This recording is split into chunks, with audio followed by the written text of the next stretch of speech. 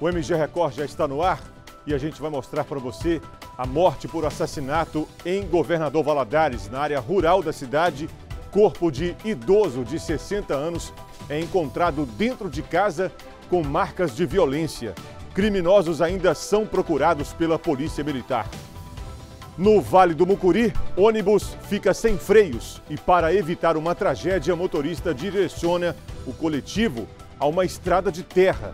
O veículo só parou depois de tombar. Em Coronel Murta, no Vale do Jequitinhonha, o motorista largou o ônibus com o motor ligado para tomar um cafezinho e o veículo invadiu uma casa. E tem esporte também no MG Record. O Esporte Clube Democrata venceu a Portuguesa por 1 a 0, tirando a invencibilidade do time carioca. Essas e outras notícias você acompanha a partir de agora no MG Record, pela TV aberta e no facebook.com barra TV Leste. MG Record